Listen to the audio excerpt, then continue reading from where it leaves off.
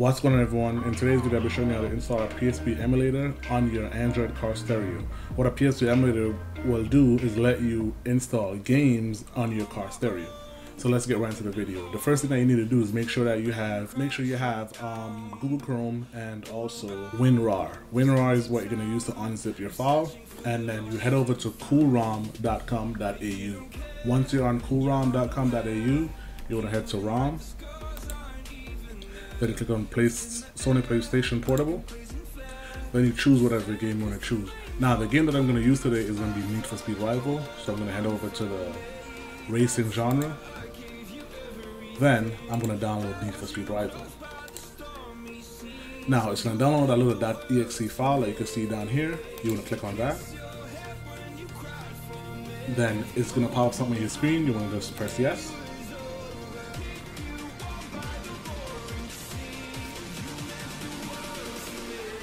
Then this will pop up. You're gonna press next on this.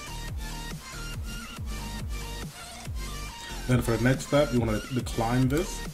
So if you do not see it downloaded in ROM in the background, all you have to do is head on to your download folder, you double tap that, and you will see it here.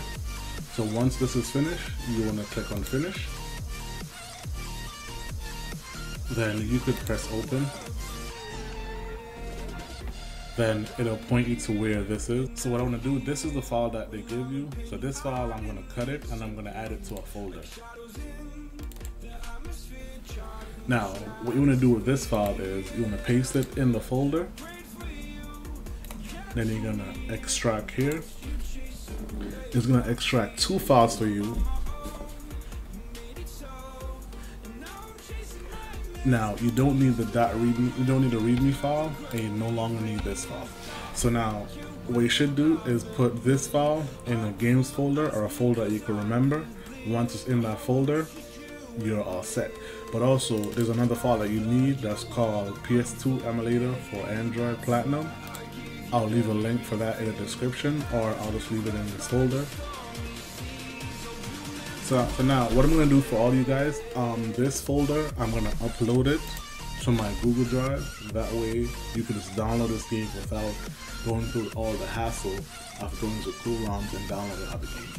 There's only four games in this at the moment, but if you like, I could keep adding more games to it. So these are the two files, these are, these are the two folders that you need.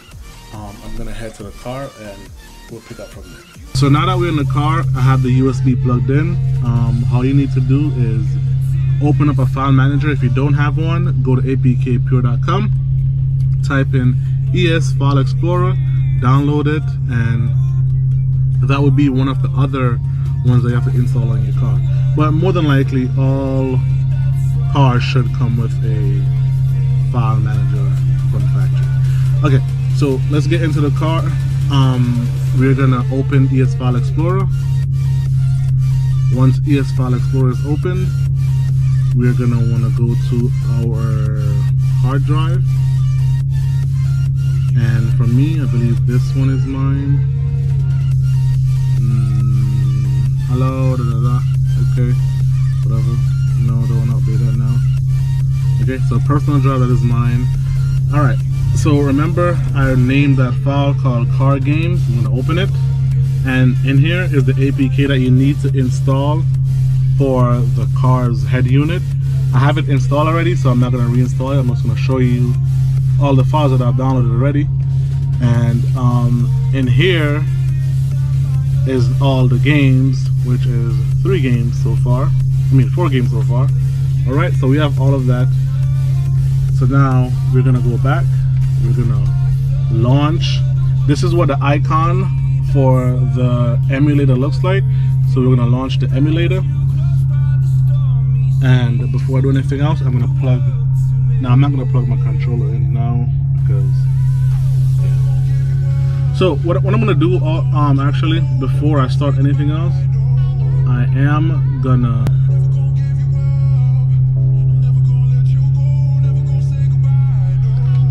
So now that the game is finished copying over, I'm gonna just take my hard drive out and I'm gonna plug my PS4 controller in.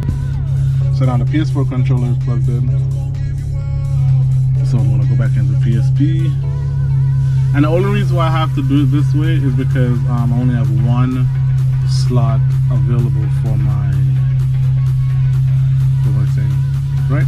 So, and here it's kind of tricky to navigate to your um, to your flash drive, but mine is already mine is already navigated to. So what I'm gonna do, I'm gonna try to go try to go all the way back, right? Um, yeah, and I'm sorry that this application, once you're connected to the internet, it do have a couple of ads, which are super annoying. So what we're gonna do now is um, go to our SD card, then go to PSP, and go to games. Now you're gonna see that it says the Gran Turismo logo and Need for Speed Rivals. We're gonna try Rivals, and then I'll show you Gran Turismo right after.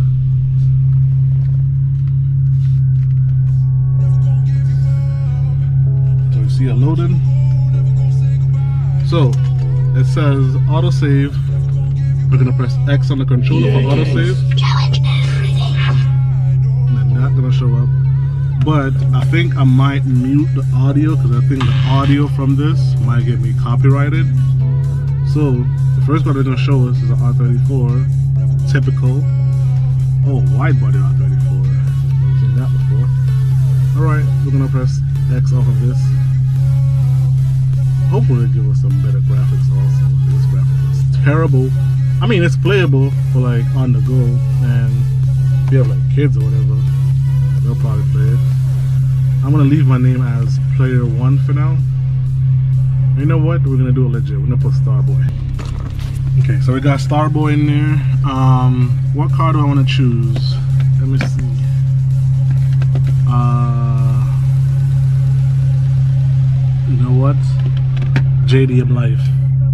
RV Dub. You know what? Nah, I know what JDM.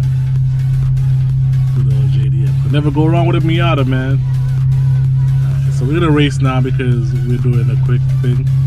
Um, it's gonna be kind of hard for me to set the camera in here. So let me rig up something. Okay, so I've kind of set up the camera in here a little bit. Let me see what the audio's like. Okay, got some random ass audio playing. Um, let's go to custom race. Uh, let's let's do this one. Let's do one lap only. Right. Let's see what music I play.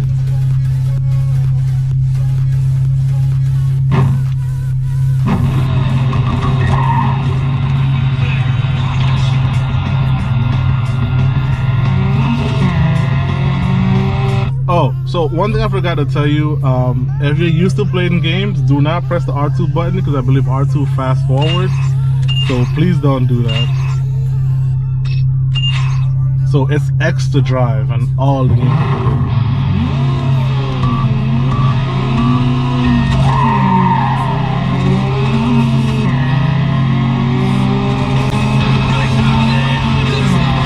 I don't know what those guys are doing. Yeah, like I said, I might get copyrighted, so let me turn that off. I don't know what they're doing, but it, it, it turns well. Everything works well. Um, for some reason, this game, the audio in this one is much better than Gran Turismo. Gran Turismo audio did not work at all. So yeah, this is Need for Speed, fellas.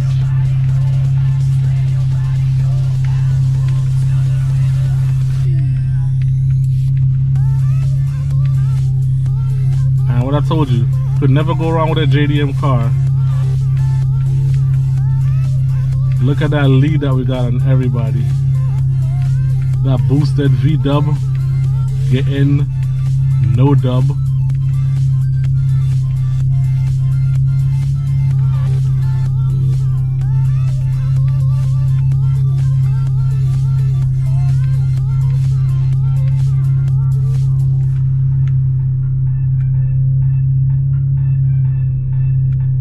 and that's it. So yeah like i said it all works fellas. All of it works um this is gonna be kind of hard to zoom in on. So yeah all the other games will work just as fine as how this one works. So um all you have to do is in the description just download all of those and you might want to get an sd card and just transfer all of your games over to it. Um, I'll, I'll you don't have to use a USB stick. What you could just do is get a USB, I mean a SD card, get an SD SD card reader, plug the SD card reader into your computer, transfer all the files over to that, make it a bit more easier for you. Yeah, as you can see, like all the games work, everything works fine. Um, Twisted Metal and all those games, I'm pretty sure they'll work just as fine with no hiccups. So yeah, that's the video fellas um if this was somewhat informative entertaining please like comment